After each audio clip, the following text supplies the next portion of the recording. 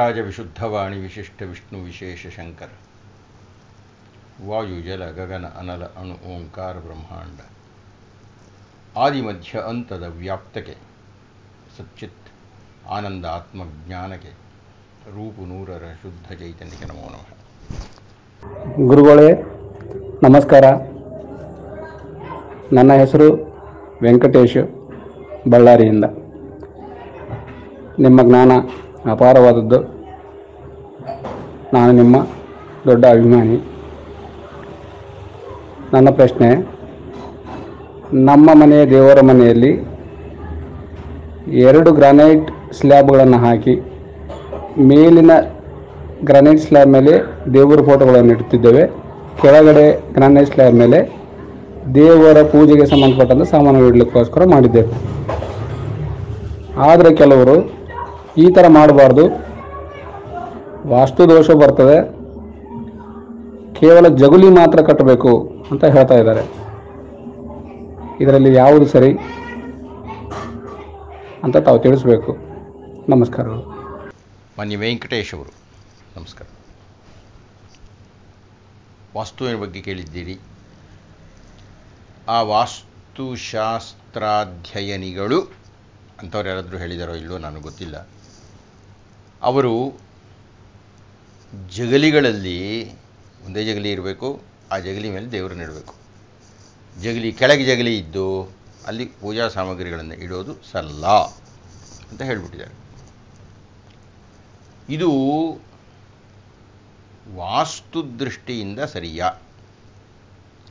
ಅವ್ರು ಹೇಳ್ತಾ ಇರೋದು ಸರಿಯೇ ಅನ್ನೋದು ನಿಮ್ಮ ಪ್ರಶ್ನೆ. ಮೊದಲನೇ ಭಾಗವಾಗಿ ನಾನು ಹೇಳಿಬಿಡ್ತೀನಪ್ಪ, ನಾನು ವಾಸ್ತುಶಾಸ್ತ್ರವನ್ನು ಅಧ್ಯಯನ ಮಾಡಿಲ್ಲ. ಮೊಟ್ಟ ಮೊದಲನೇದಾಗಿ. ಎರಡನೇದಾಗಿ, ತುಸು, ಒಂದೇ ಒಂದು ಚೂರು ಹಾಗೆ ಅದನ್ನು ನೋಡಿದ್ದರಲ್ಲಿ, ಅಥವಾ ತಾರ್ಕಿಕವಾಗಿ ಯೋಚನೆ ಮಾಡಿದ್ದರಲ್ಲಿ ನಿಮ್ಮ ಪ್ರಶ್ನೆಯನ್ನು ಹೇಗೆ ತಗೋಬೇಕು ಅಂತ ನೋಡಿದಾಗ ಒಂದೆರಡು ಅಂಶಗಳನ್ನು ನಿಮಗೆ ಹೇಳಬಹುದು ಅಂತ ಅನಿಸುತ್ತೆ. ಈ ವಾಸ್ತು ಅನ್ನತಕ್ಕಂಥದ್ದು ಜ್ಯೋತಿಷದ ಭಾಗ. ಈ ಜ್ಯೋತಿಷ ಅನ್ನತಕ್ಕಂಥದ್ದು, ವಿಶೇಷವಾಗಿ ಫಲಜ್ಯೋತಿಷ ಅಂತಲೋ ಏನೋ ಹೇಳ್ತಾರಲ್ಲ, ಆ ಭಾಗ ವೈದಿಕವಾಗಿ ಸಾಧಾರವಾಗಿಲ್ಲ. ಅಂದರೆ ವೇದಗಳಲ್ಲಿ ಜ್ಯೋತಿಷದ ಬಗ್ಗೆ ಚಿಂತನೆ ನಡೆದಿಲ್ಲ. ಅಥವಾ ಜ್ಯೋತಿಷ ಅನ್ನತಕ್ಕಂಥ ಭಾಗ ಉಂಟಲ್ಲ. ಶಾಸ್ತ್ರಗಳು ಅಂತ ಹೇಳುವ ಆರು ಶಾಸ್ತ್ರಗಳಲ್ಲಿ ಒಂದು ಶಾಸ್ತ್ರ ಜ್ಯೋತಿಷ ಅಂತ ನಾವೇನು ಕರೀತಾ ಇದ್ದೇವೆ. ಆ ಜ್ಯೋತಿಷ ಶಾಸ್ತ್ರ ಉಗಮವಾದ ಸಂದರ್ಭದಲ್ಲಿ ಯಥಾ ಪ್ರಕಾರ ವೇದಗಳಲ್ಲಿ ಪರೀಕ್ಷೆ ಮಾಡಿದಾಗ ಈಗ ನಾವು ಯಾವುದನ್ನು ಜ್ಯೋತಿಷ ಶಾಸ್ತ್ರ ಅಂತ ಕರೀತಾ ಇದ್ದೇವೆ, ಅದು ಅಲ್ಲಿ ಇಲ್ಲ. ಅಲ್ಲಿ ಇದ್ದಲ್ಲೆಲ್ಲ ಮುಹೂರ್ತ ನಿರ್ಣಯ ಯಜ್ಞಯಾಗಾದಿಗಳಿಗೆ ಸಂಬಂಧಪಟ್ಟಿದ್ದು.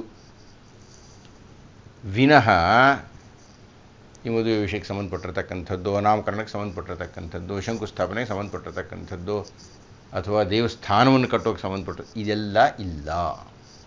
ಹೀಗಾಗಿ ಯಾವುದನ್ನು ಇಂದು ಜನಪ್ರಿಯ ಜ್ಯೋತಿಷ ಅಂತ ಕರೀತಾ ಇದ್ದೇವೋ, ಅದಕ್ಕೆ ವೈದಿಕಾಧಾರ ಇಲ್ಲದೇ ಇದ್ದಾಗ ಆ ಜ್ಯೋತಿಷದ ಭಾಗವಾದಂಥ ವಾಸ್ತುವಿನ ವಿಷಯಕ್ಕೆ ಅಲ್ಲಿಲ್ವೇ ಇಲ್ಲ.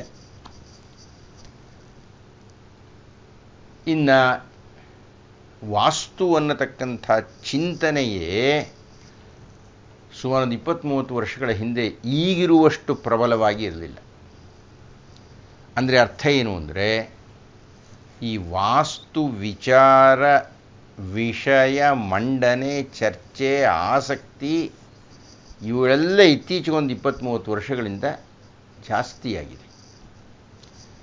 ಯಾವ ಪ್ರಮಾಣಕ್ಕೆ ಹೋಗಿದೆ ಅಂದರೆ ಕಟ್ಟಿದ ಮನೆ ಗೋಡೆ ಕೆಡವಿಸೋದು, ಕಂಬನ ಕಿತ್ತಾಕ್ಸೋದು, ಮನೆಯ ಸ್ವರೂಪವನ್ನೇ ಬದಲಾವಣೆ ಮಾಡೋದು, ಹೆಸರುಗಳನ್ನು ಬದಲಾವಣೆ ಮಾಡೋದು, ಅಕ್ಷರಗಳನ್ನು ಬದಲಾವಣೆ ಮಾಡೋದು, ಅಕ್ಷರ ಸಂಖ್ಯೆಯನ್ನು ನಿಯಂತ್ರಣ ಈಗೇನೇನೋ ಇದೆ ಅಂತ ಜನರು ಹೇಳ್ತಾರೆ.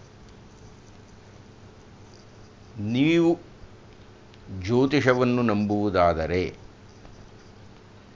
ಆ ನಿಮ್ಮ ಜಾತಕದಲ್ಲಿ ನೀವು ಮನೆ ಕಟ್ತೀರಿ, ಒಳ್ಳೆ ಮನೆ ಕಟ್ತೀರಿ ಅನ್ನೋದು ಏನಾದರೂ ಇದ್ದರೆ ನೀವು ಮನೆ ಕಟ್ತೀರಿ. ಆ ಮನೆ ಕಟ್ಟಿದ ಮೇಲೆ ಉಂಟಾಗತಕ್ಕಂಥ ಯಾವ್ಯಾವುದೋ ಸಮಸ್ಯೆಗಳಿಗೆ ಮನೆ ಕಟ್ಟಿದ್ದು ಕಾರಣವಾಗುವುದಿಲ್ಲ. ಈಗ ಅಲೆ ಹೇಳಿದ ಹಾಗೆ ಇತ್ತೀಚೆಗೆ ಒಂದು ಮೂವತ್ತು ನಲವತ್ತು ವರ್ಷಗಳಿಂದ ಕಣ್ಣು ತೆರೆದು ಸ್ವಲ್ಪ ವಿಸ್ತಾರವಾಗಿ ನೋಡ್ತಾ ಇರತಕ್ಕಂಥ ಶಾಸ್ತ್ರ ಅಂತ ಕರೆಸಿ, ಕರೆಸಿಕೊಳ್ಳೋದಕ್ಕೆ ಇಷ್ಟಪಡ್ತಕ್ಕಂಥವರ ದೃಷ್ಟಿಯ ಶಾಸ್ತ್ರ ಅದು. ಪೂರ್ತಿ ಶಾಸ್ತ್ರ ಪ್ರಾಮಾಣ್ಯ ಅದಕ್ಕೆ ಇಲ್ಲ.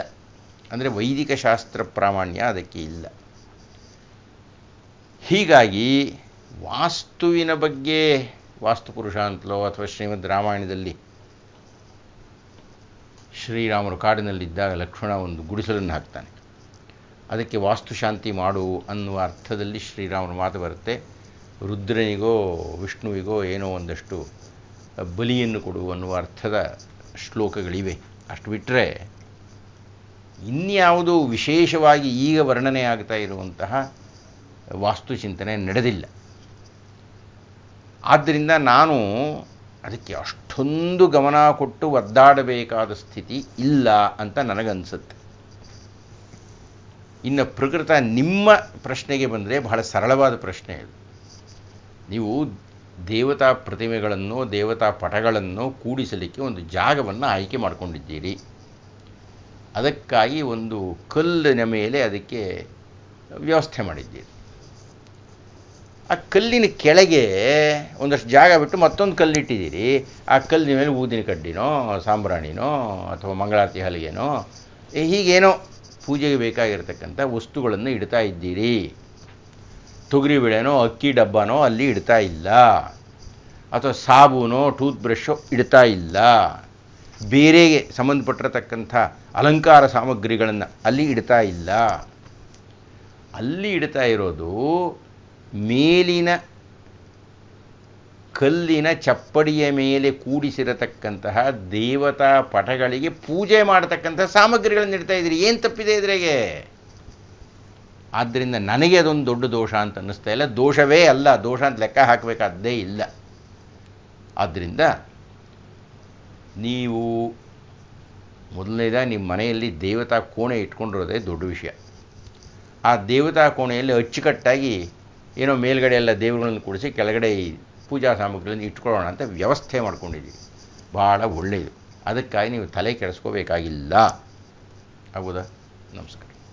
ಪೂಜ್ಯರಾದ ಜ್ಞಾನನಿಧಿ ಡಾಕ್ಟರ್ ಪವಗಡ ಪ್ರಕಾಶ್ ರಾವ್ ಅವರಿಗೆ ನನ್ನ ಸಾಷ್ಟಾಂಗ ನಮಸ್ಕಾರಗಳು.